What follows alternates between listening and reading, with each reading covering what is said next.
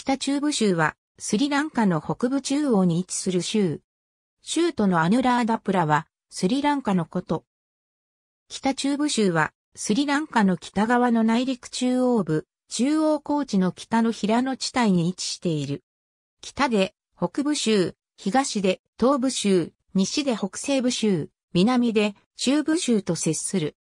州内には古代新原王朝の王都であったこと、アヌラーダプラとポロンナルワが存在しており、古代遺跡が集まる文化三角地帯の一角を構成する。北中部州の行政区画北中部州は2つの県から構成される。 Population of Sri Lanka by District。Census of Population Housing 2011、スリランカ統計局。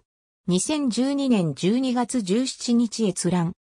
ニュースライン、ノース、イーストレコードハイエスト GDP グロースレート、アーカイブド2012年6月20日、アットザウェイバックマシン。ありがとうございます。